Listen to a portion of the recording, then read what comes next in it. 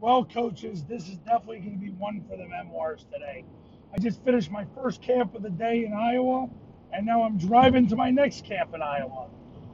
So it is definitely one heck of a day. So as I'm driving here, I just wanted to talk to you about building your offensive line inside out. Now, Bill Belichick said you always build your defense because trying to outside, you're going to get to the core of what your problems really are. No different with your offensive line in a triple option offense. The center is your best offensive lineman. The reason why is because he's going to have to do more first level blocking than any other player.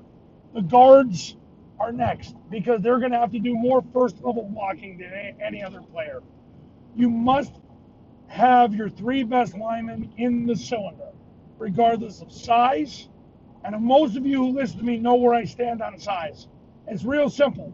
Fat guys get you fired.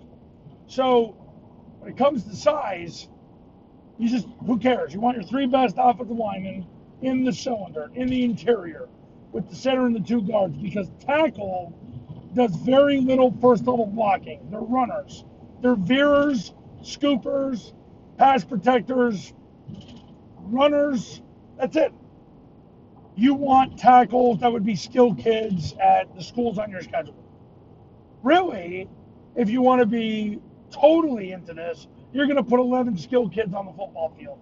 You go to that testimonial page on my website, tripleoptionfootball.com slash testimonials, and you'll see that most of those teams played 11 skill kids.